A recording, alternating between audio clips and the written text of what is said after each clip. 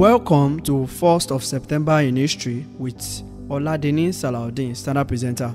1st of September 1969, a coup in Libya brings Muammar Gaddafi to power.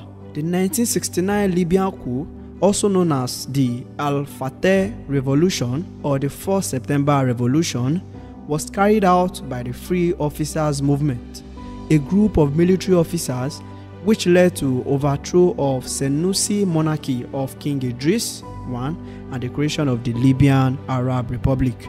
The discovery of significant oil reserves in 1959 and the subsequent income from petroleum sales enabled the Kingdom of Libya to transition from one of the world's poorest nations to a wealthy state. Although oil drastically improved the Libyan government finances, resentment began to build over the increase due to concentration of the nation's wealth in the hands of King Idris. The kingdom also made little effort in attempting to unite the country and poorly manage Libya's internal affairs. In 1969, the US Central Intelligence Agency was expecting part of the Libyan armed forces to launch a coup from the Abdulaziz Sahib's Black Boot Revolutionary Group. Sahib, who effectively served as Idris' chief of staff, but in mid 1969, Idris traveled abroad to Turkey and Greece during widespread rumors of a coup by the Sahib brothers on the 5th of September. Then we have the Gaddafi's free officers who recognized 1st of September as their chance to overthrow the monarchy before the Sahib brother initiating Operation Jerusalem.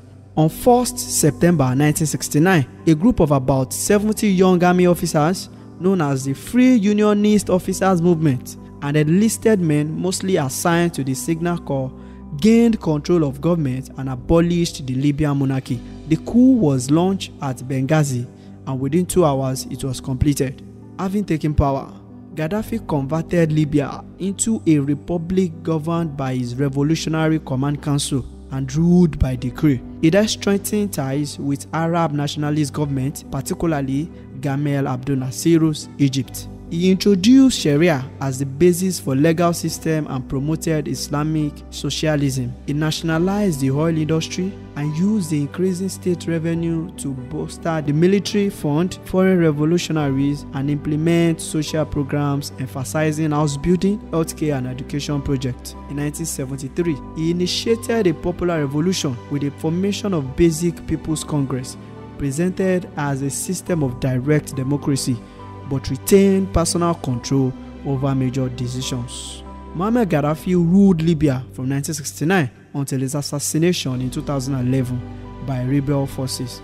The killing of Muammar Gaddafi took place on 20th of October 2011 after the Battle of Sirte. Gaddafi, the disposed leader of Libya, was found west of Sirte after his convoys were attacked by NATO aircraft. As part of the 2011 NATO military intervention in Libya, he was then captured by National Transition Council NTC forces and was killed shortly afterwards. Thanks for listening to 1st of September in History with Oladeni Salaudin, the standard presenter. God bless you.